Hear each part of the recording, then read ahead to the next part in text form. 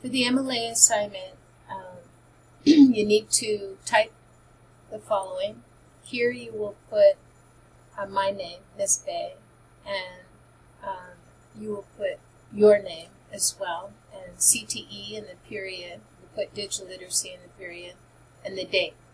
And then you have to set it up double spaced, um, and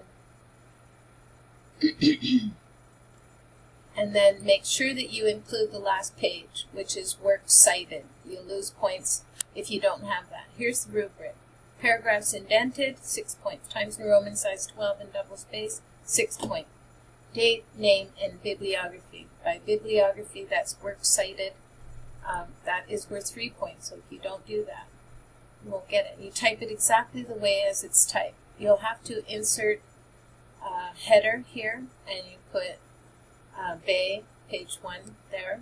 So you go insert header to do that.